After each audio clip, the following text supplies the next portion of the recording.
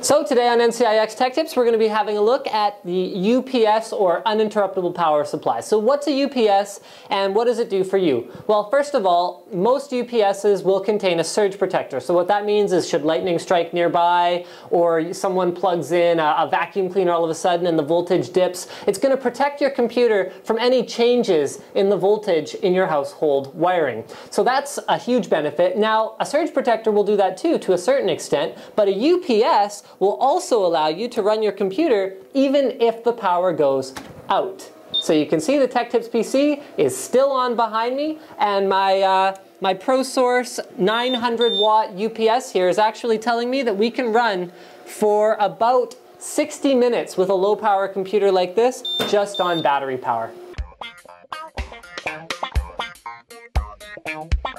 Now, every UPS is by definition a big battery, and then a voltage inverter. So you're able to take DC power off the batteries inside, and you're able to turn it into something that your computer can use. Now, that doesn't mean that all UPSs are made equal. So with this basic unit on my left here, you can get about 300 watts, so you can power some a fairly low-end desktop computer and monitor. For a few minutes, it gives you time to save your work before it crashes, and you can also use it in order to prevent surges. So it's got a built-in surge protector. Whereas if you move into a much higher-end unit, unit, I could actually use this 900 watt unit to power a high-end gaming desktop 30-inch monitor for, you know, 10 minutes and besides that, okay, because this costs substantially more, you also get the benefit of what's called a line interactive UPS versus an offline UPS. So with an offline UPS, you're taking the mains voltage from your house and you're feeding that directly into the computer unless it turns off or dips substantially.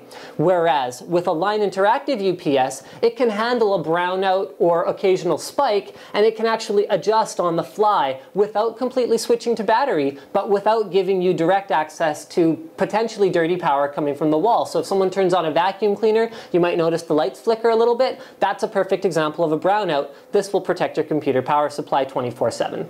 So why are we talking about UPSs today? It's a boring topic. It's a fairly boring product. However, I feel personally that it is very important, and my personal experience with it has led me to believe that it can even be essential. Now, my parents live in a fairly new house, built about a year and a half ago. They've got a media setup, media PC, a projector, all that stuff.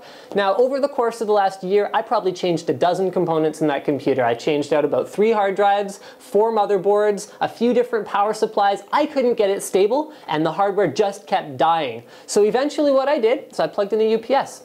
Now, when a UPS kicks in, you can hear a bit of a ticking noise, and that means that you've had some kind of brownout or voltage irregularity, and it's happening every five minutes.